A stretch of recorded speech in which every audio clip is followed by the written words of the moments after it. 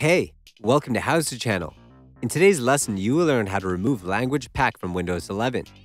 This video shows students and new users steps to remove or uninstall extra language packs or keyboard languages in Windows 11. After installing Windows on your device, you can also install additional language packs to add to your list of Windows Display languages. Language packs can include features to support text-to-speech, speech recognition, handwriting, keyboard, optical character recognition, and more. If you have extra language packs and keyboard languages installed with optional features, you can remove them so they are not using valuable space, especially if your device has low storage space. Click on Windows icon on the taskbar. The menu will pop up. Click on Settings. Select Time and Language from the left side list.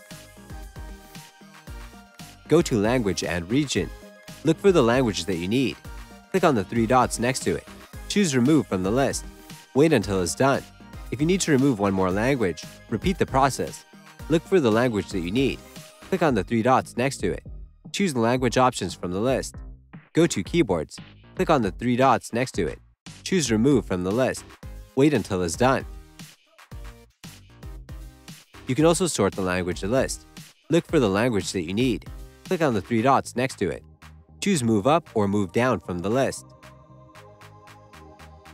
That's it. Thanks for watching the video.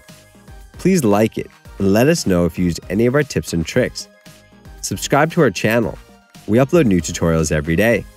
See ya!